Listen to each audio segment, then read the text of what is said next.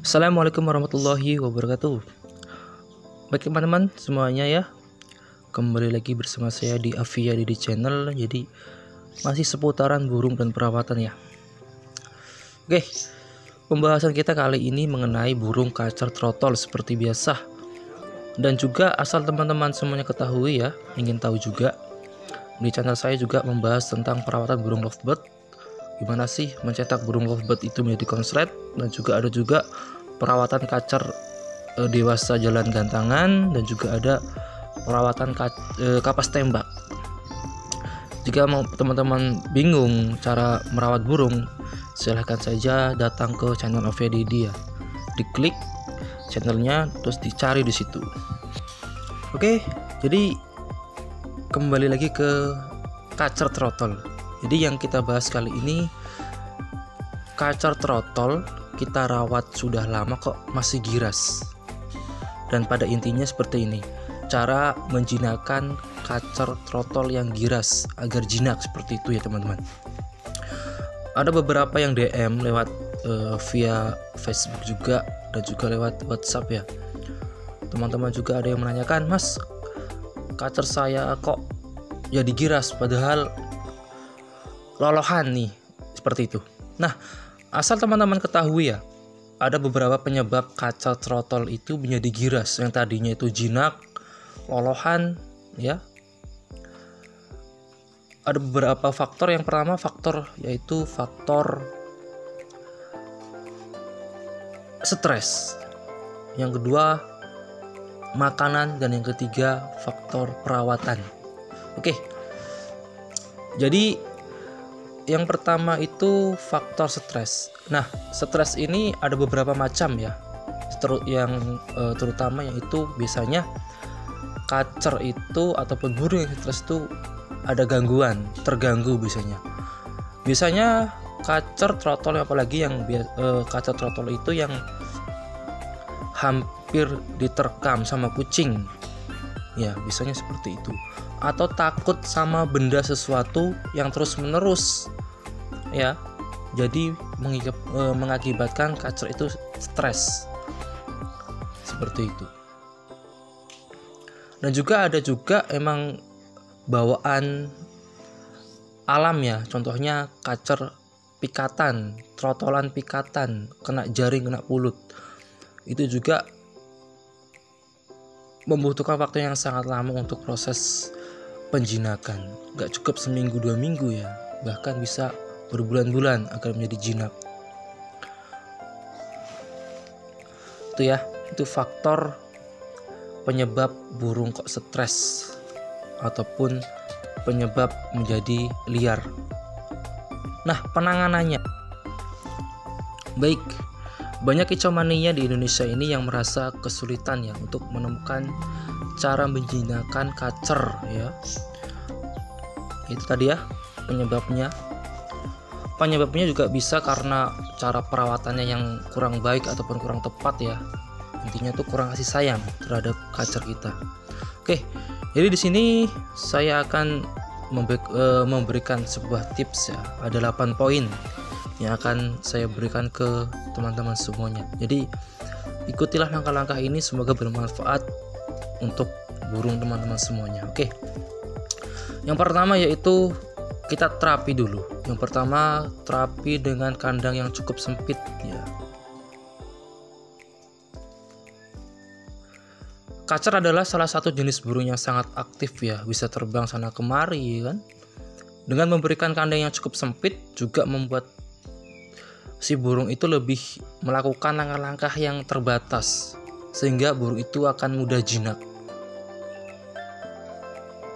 Langkah ini juga bisa teman-teman lakukan ketika kacer peliharaan. Teman-teman semuanya tuh baru saja eh, dipelihara kok jadi giras ya kan? Bisa diterapi ini. Ataupun hasil dari tangkapan hutan juga bisa menggunakan kandang ukuran kecil ini untuk terapi ya misalkan sudah mulai agak jinak bisa dipindahkan di kandang yang lumayan besar. Dan juga ketika udah benar-benar jinak bisa dipindahkan di kandang yang sesuai dengan ukuran kacer ya. Seperti itu. Yang kedua lakukan ataupun berikan siulan ataupun pancingan. Agar apa? Agar kacer itu terpancing untuk berbunyi. Ya sehingga apa? Sehingga menjadi uh, jinak nah teman-teman semuanya ya burung kacer yang terkenal dengan siulannya ataupun nyanyiannya yang sangat gacor dan ngotot apabila kita berikan siulan ataupun pancingan lewat handphone ya itu akan terangsang untuk berbunyi sehingga apa? Terbiasa terbiasa kacer pun akan menjadi jinak seperti itu. Oke yang ketiga terapi agar burung itu menjadi jinak. Yang tiga yaitu mandikan burung kaca itu sampai basah kuyup oke. Jadi lakukan juga apabila teman-teman itu mempunyai burung yang giras terutama kaca trotol ya kacer ya gitu seperti itu kita sering mandikan dengan basah kuyup mungkin kita agak ekstrim caranya ya dengan cara disemprot. Sampai benar-benar basah kuyup ya sampai dia jinak dengan sendirinya. Seperti itu. Terus yang keempat yaitu bawa burung kacer yang kita bawa ini yang liar ini ya ataupun gerabakan ini kita bawa ke tempat yang ramai. Nah pada umumnya tempat hidup seekor burung yaitu di hutan, jauh dari keramaian. Jadi apabila burung yang baru kita tangkap pelihara itu dari hutan, kok langsung kita kasih kandang terus kita eh, pegang itu pasti akan mengalami stres atau gelabakan takut. Oleh karena itu, kalau kita mempunyai burung kacer, trotol maupun dewasa yang liar, kita terapi dengan bawalah ke tempat yang keramai. Jangan langsung di tempat ramai, kita perlahan dari jauh. Kita perlahan dari jauh. Berapa minggu ke kemudian ataupun beberapa hari kemudian kita dekatkan dekatkan dekatkan ya sampai dia benar-benar tidak gelabakan saat di keramaian. Tuh seperti itu. Terus yang berikutnya yaitu suap burung kacer itu dengan tangan. Contohnya nih memberikan ekstra puding ya seperti jangkrik roto dan juga ulat hongkong dan sejenisnya itu menggunakan tangan. Gunanya untuk apa? Agar burung itu terbiasa disuapin oleh kita dan burung itu e, tidak takut tidak gelabakan dan menjadi jinak seperti itu. Terus yang berikutnya jangan pernah melukai kacer. Intinya tuh eh, kasar ya pada burung itu kasar seperti itu. Contohnya burung yang susah jinak kan ya yang liar misalnya seperti itu. Kita pegang misalkan. Sehingga apa? Membuat burung itu berontak. Hasil apa? Bukannya semakin jinak malahan semakin tambah stres semakin tambah gelabakan. Oke jadi burung kita juga harus tahu nih cara perawatan yang tepat ya sesuai dengan karakter seperti itu terus yang berikutnya beri makanan burung itu dengan eh, sajian yang tepat ya. Contohnya burung pada eh, proses penjinakan itu biasanya harus dimanjakan.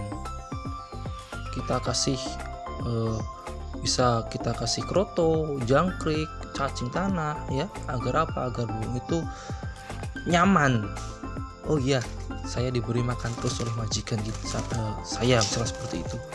Jadi terbiasa dengan nyaman akhirnya jinak terus yang paling terakhir nih ya nomor 8 nih ya paling terakhir poin yang paling uh, wajib kalian ketahui yaitu sabar dan rutin telaten. Jadi kuncinya itu cuma itu. Dari beberapa uh, beberapa poin di atas yang paling mendasar yaitu kuncinya sabar, ulet dan telaten. Jika kita merawat burung itu harus telaten dan ulet, tentu hasilnya akan bagus juga. Selain telaten dan sabar juga kita harus tahu nih karakter dari si burung, maunya dirawat dengan seperti apa, seperti apa, seperti itu. Jadi saran dari saya jika teman-teman mempunyai burung yang liar, gerabakan, itu harus sabar, dirawat dengan sungguh-sungguh seperti yang saya cacarkan di atas tadi ya. Oke, itulah ada beberapa poin yang saya sampaikan cara merawat burung yang giras ataupun liar agar menjadi jinak. Oke, cukup sekian dari saya. Assalamualaikum warahmatullahi wabarakatuh.